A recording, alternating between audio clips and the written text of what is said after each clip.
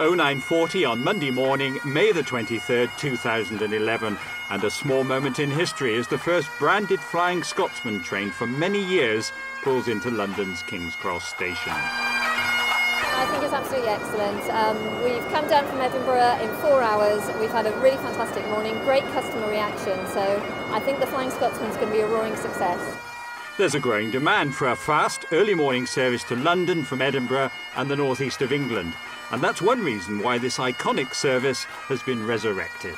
The whole idea is that you can travel from Edinburgh or Newcastle to London. You can be here at 9.40, you can be at work in the centre of London at 10 o'clock, and we hope this will convince people to try travelling by train rather than air. It's much quicker and of course it's, it's uh, city to city so um, you know it's going to be a very popular service um, and we've responded to customers which is a really massive uh, win for us as a business.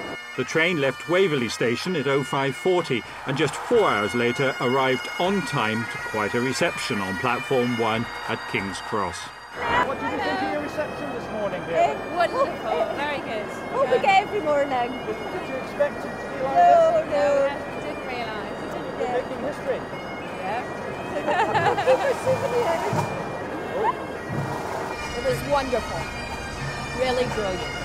It was brilliant, really good. Okay, you're making history. Yeah, I'm making history. With a cake. It was amazing. Yeah, I mean, I usually get this train down for work anyway, so to get down an extra half an hour early, always a bonus.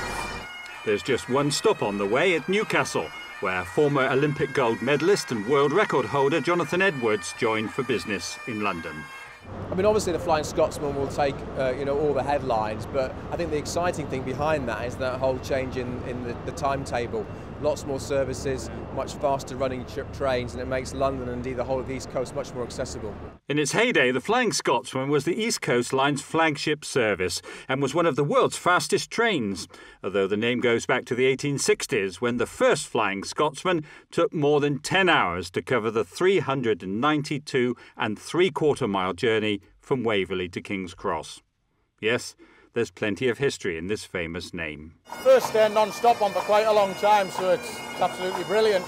It's uh, nice to be the driver of the train. Yeah, must be feel very proud to do that. Yeah, it's be great to tell the kids.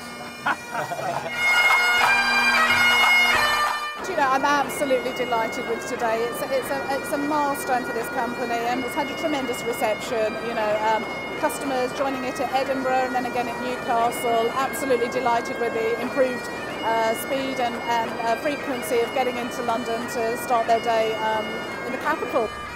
Train full of happy people, lots more people want to use the railways, taking market share off the airlines. Everything we want to do, more services, faster services, greater capacity and getting them in on time as well. I think this is the start of bringing the great back to East Coast. It's a fantastic business. It's had a few problems in recent years and this is the beginning of a new era. So a fantastic step forward for the entire business and everybody who works in it.